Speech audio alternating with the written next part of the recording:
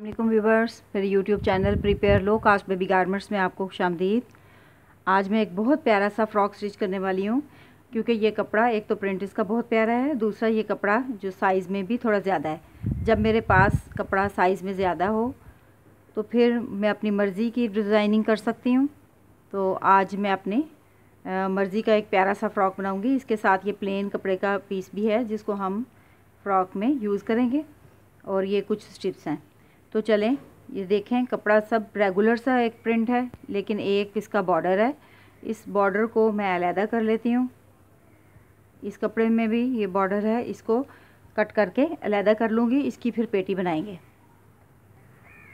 इस बॉर्डर वाले प्रिंट के पीस को मैंने कट कर लिया और इसके साथ ये पीस है। एक पीस ज़्यादा बड़ा है और एक छोटा है। तो हम इसकी पेटी कुछ इस तरह बना लेंगे। बैक पे, जहाँ जोड़ आएगा, वहाँ इसकी फट्टी रख देंगे, सेंटर में। एक्स्ट्रा कपड़ा यहाँ से कट कर लेंगे और ये सेंटर में फटी आ जाएगी और फ्रंट पे ये पूरा का पूरा पीस आ जाएगा। और जो बाकी कपड़ा है, इसमें ये मेरे पास एक, ये स्ट्रिप की शेप में कपड़ा है। तो ये जो बाकी का प्रिंट है सारा रेगुलर सा, मैं इस सारे कपड़े की इसी साइज़ की स्ट्रिप्स काट लूँगी।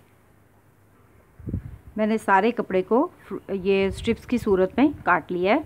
इन स्ट्रिप्स से मैं फ्रिल्स तैयार करूँगी और बाकी का ये जो प्लेन पीस है, इसके ऊपर ये हम फ्रिल लगाने वाले हैं। पेटी की चौड़ाई 12 इंच रखेंगे। उसी के हिसाब से हम ये जो फ्रॉक का पीस है, उसकी कटिंग करेंगे। इसको फोल्ड करके ये जितना हमने पेटी रखनी है चौड़ी, ये सिक्स इंच बाकी जो है इसको मैं यूँ कट करूँगी कि ये फ्रॉक जिसके ऊपर हमने फ्रिल लगानी है उसकी बेस तैयार हो जाए। इसको मैं कट कर लेती हूँ।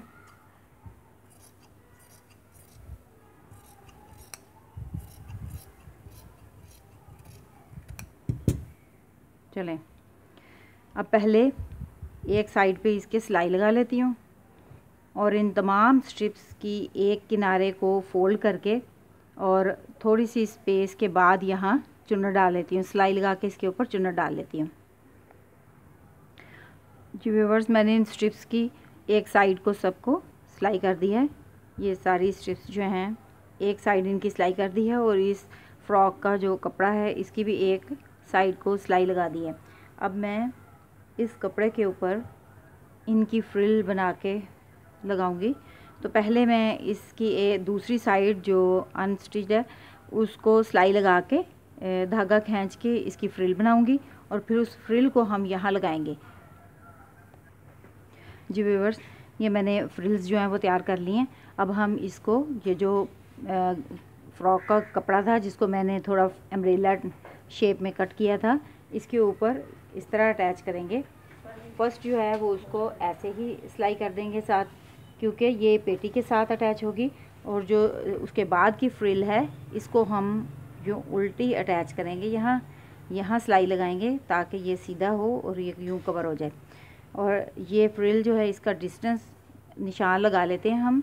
पहली फ्रिल के अंदर उसके नीचे ही दूसरी होनी चाहिए और इसी तरह अगली फ्रिल जो है वो उसके नीचे। और यूँ ही ये सारी फ्रिल्स जो हैं वो हम सिलाई के साथ लगा देते हैं। फ़र्स्ट वाली फ्रिल को मैंने सिलाई के साथ अटैच कर दिया। सेकंड वाली फ्रिल को लगाने के लिए ये तकरीबन 2.5 इंच है तो 2 इंच के फासले पे निशान लगा लें। ये 2 इंच के जो है ना, वो आप निशान लगा लें ताकि दूसरी फ्रिल लगाना आसान हो। इसी तरह ये सारे निशान जो है वो कंप्लीट कर लें।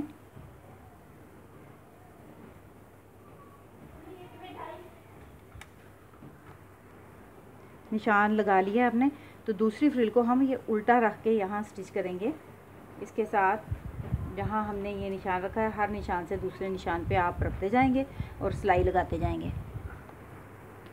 ये सेकंड फ्रिल मैंने अटैच कर ली है। ये देखें, निशान के ऊपर मैं रखती ही हूँ सिलाई लगा ली है। ये बिल्कुल बहुत अच्छे तरीके से ये अटैच हो गई है इक्वल डिस्टेंस पे।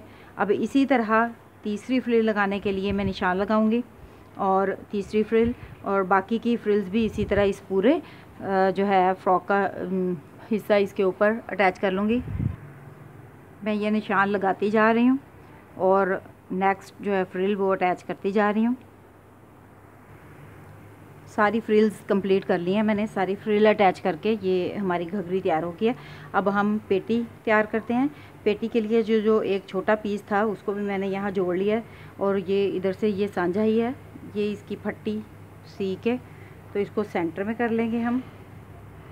और फट्टी सेंटर में करने के बाद गले और बाजू की कटिंग करेंगे।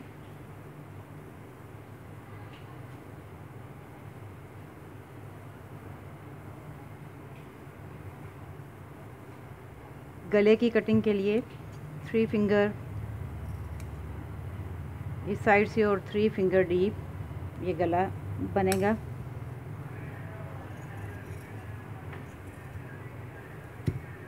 और इसी तरह ये शोल्डर की कटिंग कर लेती हूँ।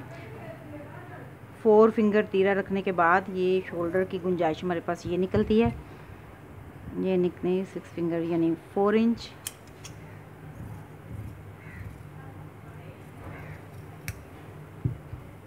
इसको लगाने के लिए ये मेरे पास सिर्फ़ कपड़े के पीसीज हैं, जो इस जो फ्रॉक का ये वाला कपड़ा था, नीचे वाला उसकी साइड से उतरे थे।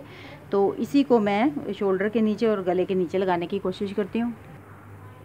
पेटी तैयार हो गई है सिल के। रेब का कपड़ा इतना अच्छा तो नहीं था, लेकिन गुजारा हो गया। है शोल्डर पे भी लगा दिया मैंने, गले के नीचे भी लगा दिया। तो चले, अब लास्ट काम जो है, इस पेटी के साथ हमने इस फ्रिल को अटैच करना है। तो ये फ़्रॉक जो है, इसको हम किस तरह अटैच करेंगे? ये हम यहाँ से शुरू करेंगे। यहाँ से एक तरफ़ से ये सिलाई लगाना शुरू करेंगे और इसको पेटी के साथ अटैच करते हुए ये यूँ सेंटर में ले आ जाएँगे। तो चलें, ये सिलाई लगा के मैं आपको दिखाती हूँ। इसको इस पेटी के साथ जोड़ने के लिए ये जो सिलाई है, ये मैं लगा लेती हूँ पहले, फिर आपको दिखाती हूँ। फ़्रॉक की पेटी को ये मैंने सेंटर में निशान लगा लिया है, कट लगा के, और इस फ्रॉक के, ये जो सेंटर की सिलाई है, यहाँ पे ये रख के पहले एक साइड पे सिलाई लगा लूँगी, कंप्लीट कर लूँगी ये यहाँ तक, और फिर ये दूसरी साइड पे कंप्लीट करूँगी।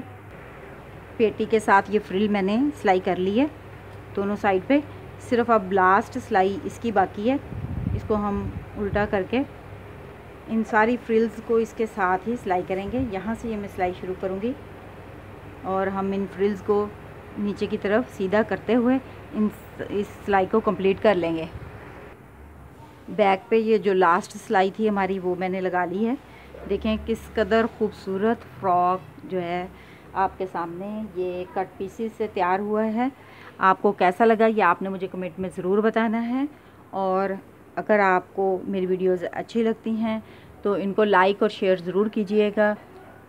और अगर अभी तक मेरे चैनल को सब्सक्राइब नहीं किया तो प्लीज़ मेरे चैनल को सब्सक्राइब कर दीजिए, ताकि आपको इसी तरह नित नए डिज़ाइन की वीडियोस देखने को मिलती रहें। थैंक यू अल्लाह हाफिज़।